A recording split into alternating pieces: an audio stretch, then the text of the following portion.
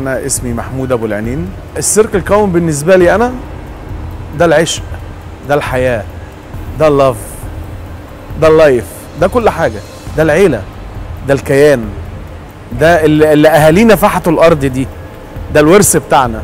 أول مرة دخلت السيرك أو أول مرة اشتغلت في السيرك كان عندي خمس سنين.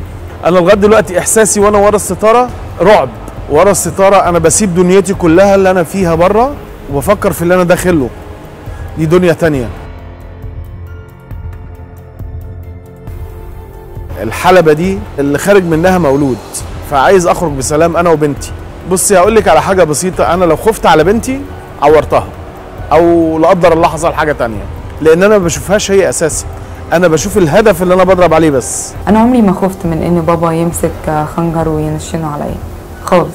عشان كده لما تدخلي لو اتفرجتي علينا جوه تلاقي دايما إن آه، عينينا إحنا الاتنين مع بعض. أصعب لحظة بحس بيها وأنا بلعب لما أكون بهزر أنا وشيماء بنتي.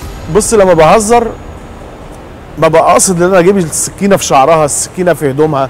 هو ده أصعب لحظة يعني إن إحنا بنهزر. والمفروض إحنا ما ينفعش نهزر والجمهور قاعد. بيمسك خنجر وبيرمي على حتة من قلبه لما كانتش قلبه كلها أنا قدامه بقى. آه هتحسي ده تناقض. لا هو مش تناقض خالص. بابا إنسان زي أي إنسان في الدنيا. أنا شرطها على عريسها اللي هي بتبقى مع بابا في شغله. حتة إن أنا لما أتجوز دي أسيب بابا صعب. أنا بنتي هي الحياة بالنسبة لي هي. بس هي صاحبي وهي زميلي وهي هي كل حاجة عندي. هي اللي بتغير عليا أكتر من مامتها كمان. روح هي روحي. تسقيف الجمهور بالنسبة لي هو النفس بتاعي. اللي أنا بتنفسه يديني الحياة. حياتي ما خفت غير ورا الستارة. بعد الستارة ما تفتح ما بخافش ابدا. العلاقة اللي بيني وبين أدواتي بيني وبينها أسرار كتير قوي. الخنجر بتاعي ده بقى بصي أقول لك على حاجة بسيطة. لو ما سمعش كلامي هضربه. آخر حاجة بقولها قبل ما بخش قبل ما الستارة تفتح القرآن أنا وبنتي ونط الشهادة وبعدين بنخش.